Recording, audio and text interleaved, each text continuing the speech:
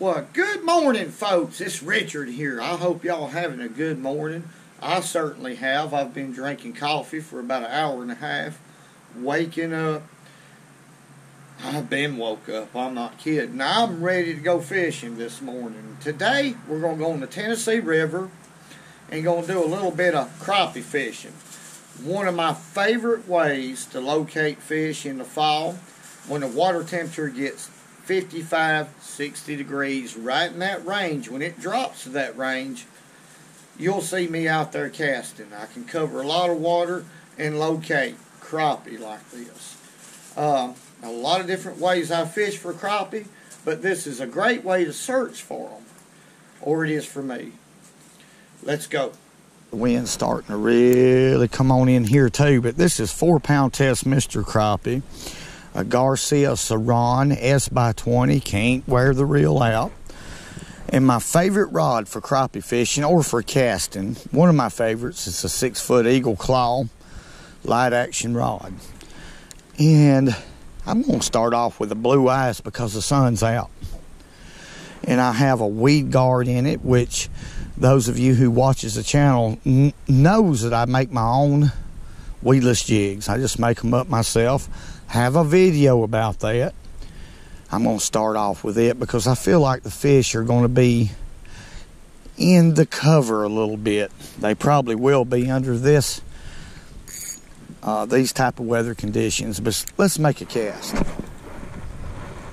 I made a long cast right there. I'm going to let it sink about four feet deep because the water right there where I made a cast is about eight feet deep. Okay, I'm about four foot. I'm going to bring that bait back real slow.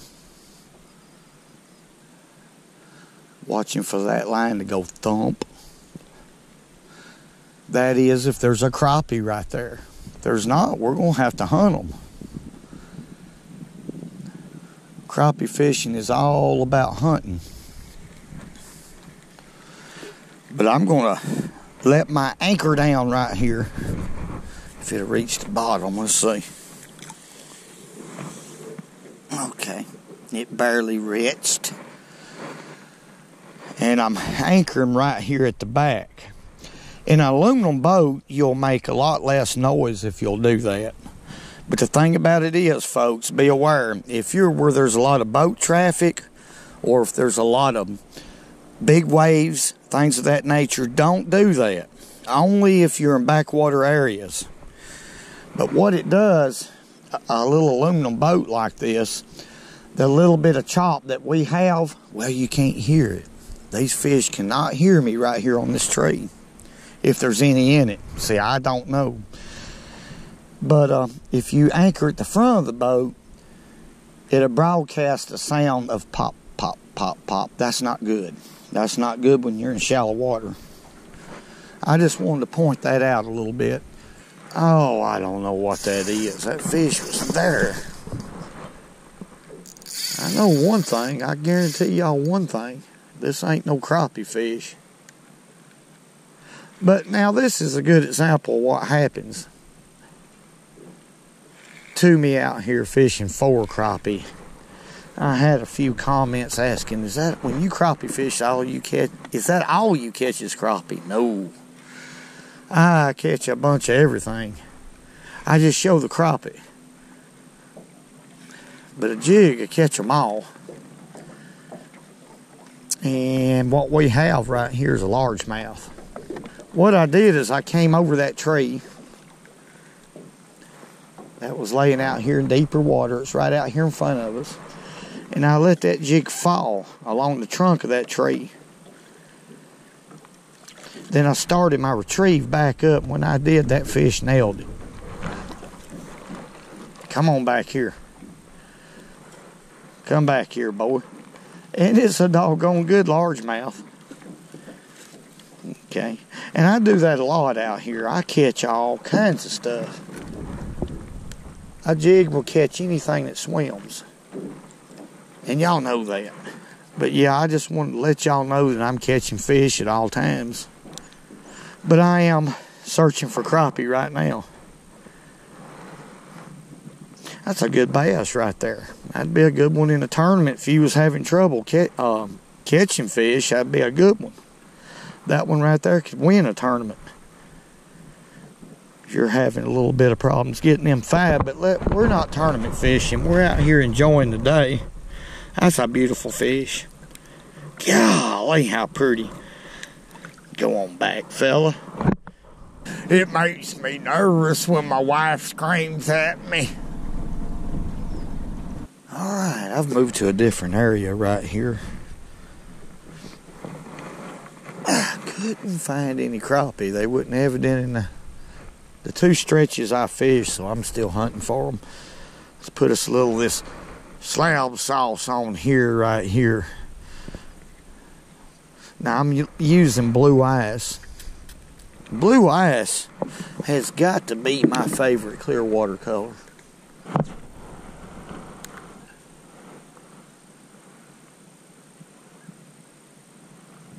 There we go.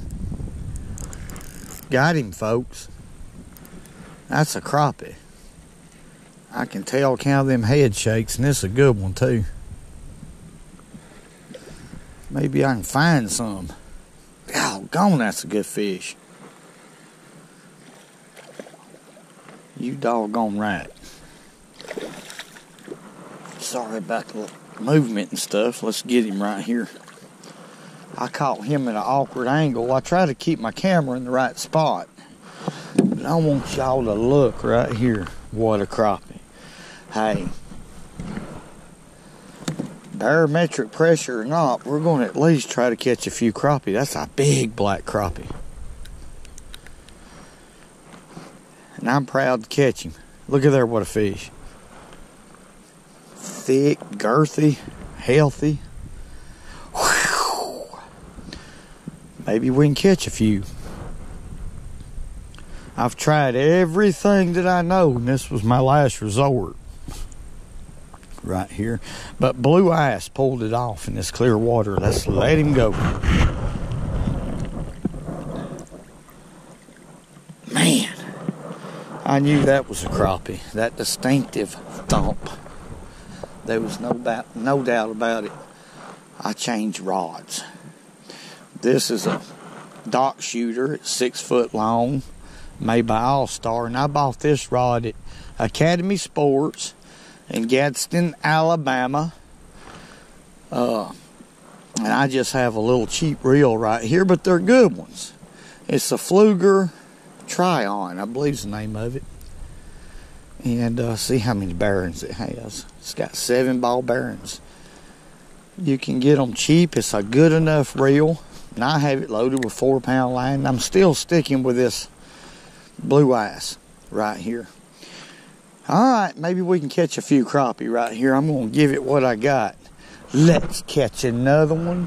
And hey, Bursell has gotten trouble with his woman. Let's turn around here. I'm going to try to face the wind. I may have to anchor. That's a. It don't look like it's hard wind, folks, but it is. See, I can't really get a good cast out there, but all I done right there, I just was holding my rod tip low because it's windy. And just a slow reel, nothing fancy, none of this. Crappie don't need all that. They want something they can catch easy because they're lazy anyway. And that fish bit probably, oh my goodness, two feet under the surface. Real shallow. There's another one. That's a crappie. No doubt. Shaking that head. I was fishing a little deep. Just a little deep. Obviously. That's a black crappie.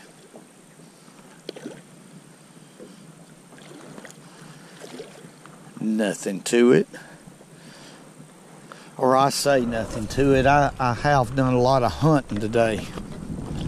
A lot of scouting. Let's get him in the net. That's a big fish right there. Now that I don't care what part of the country you're in, that's a slab. That's a slab. Check him out. I saw a big boy right there. That is a big, girthy fish.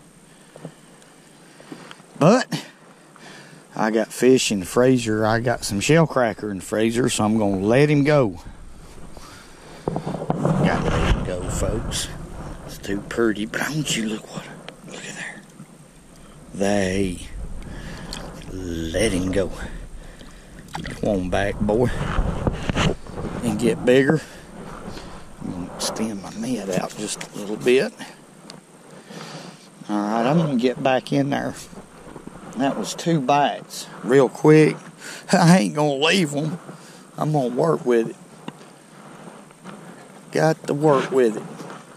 There could be a two pound fish in there. That one there was about a pound and a half, probably. It's a good one. Put a little slab sauce on there and let's see what we can do. I tell you, I don't take this stuff.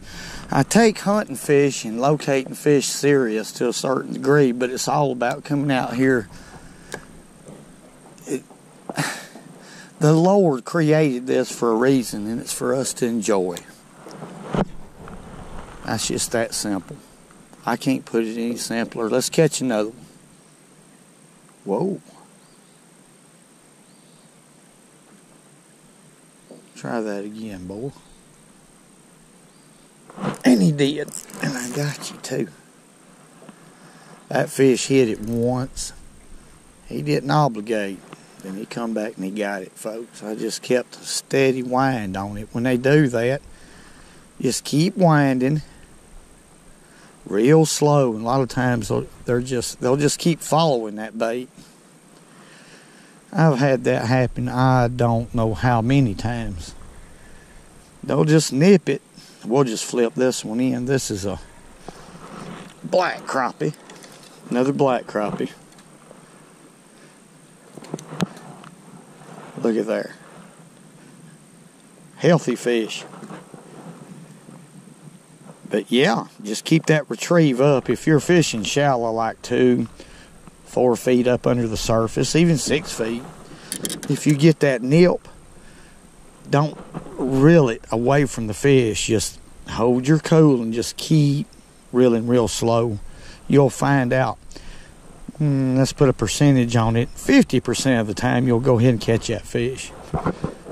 Let's let him go let him go on back and get a little bit bigger.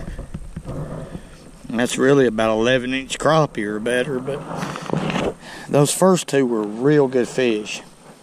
Let's see if we can catch another.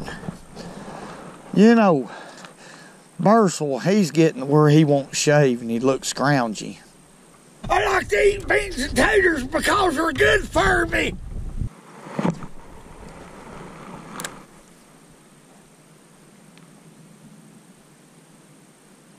Thump. There he is. I tell you what, folks, if this is a crappie, it's a doggone good one. Look here. What? Some slabs. And y'all are right. I don't like to horse a fish in. I like to take my time. Oh, that's why I'm out here.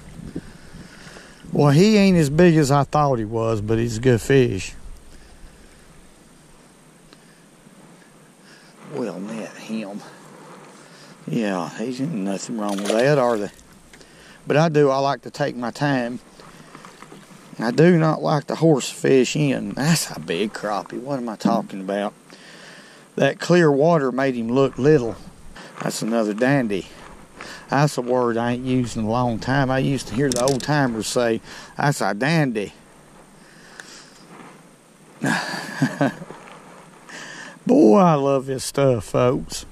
And I know y'all do too, because when you go fishing when you can, it's always going to be good for you. Not just because you're catching fish, because look, I can turn the camera off right now and just sit in the boat right here and just look. That's beauty. Let's let him go.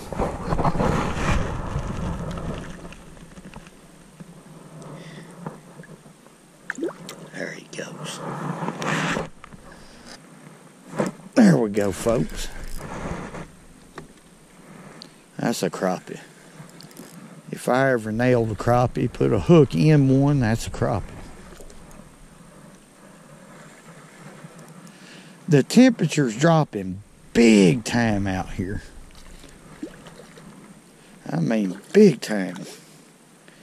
The weatherman, he, well, he was right. No doubt. I knew when that fish hit it, it was a crappie. That's a black crappie. Hadn't caught a white crappie out here yet. It's another big one. Let's check him out right here.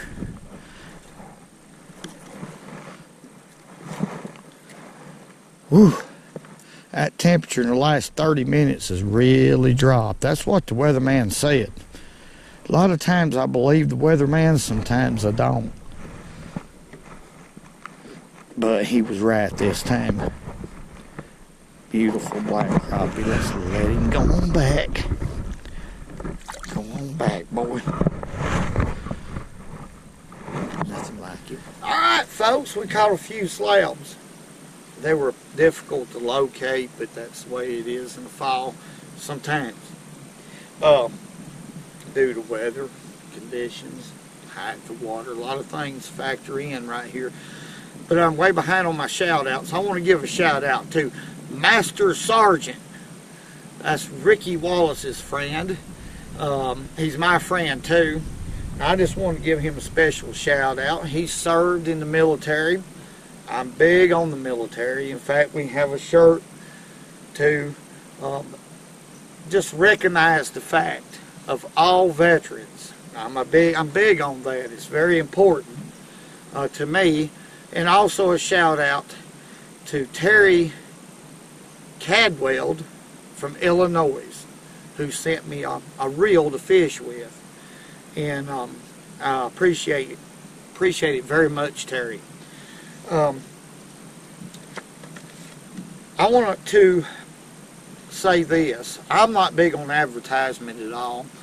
And I'm getting a lot, but still, I'm getting a lot of questions about these shirts. The Richard Gene Fishing Machine shirt and the hat. Um, it supports the channel in such a way that it keeps me in gas money, and that's about it. But that's enough. It helps and I'm getting quit. How do you get a shirt? Well, go to the About page and uh, you'll see the merchandise there. I'm not big on this advertisement thing, but we did accept a uh, company to build these shirts, make these shirts, and we also have, you know, one for vets, um, which is one that is selling pretty good. And I just appreciate. If you don't buy one, I appreciate it anyway. Um, the channel is not about advertising, but it just helps a little bit. And I thank y'all for buying them. And but if you don't, I thank y'all anyway for watching. You know, it's hard for me to. But I'm going to say this: fishing is the greatest sport on earth. That's not opinion. I used to say it's opinion. I don't anymore. Fishing this way with light tackle a jig, light line, you can cover a lot of water and find fish. That's what I had to do today. The fish were very scattered, and I was lucky before this front to catch those fish. I was real fortunate. But thank y'all very much for watching. Hey, all the great comments. Whoa.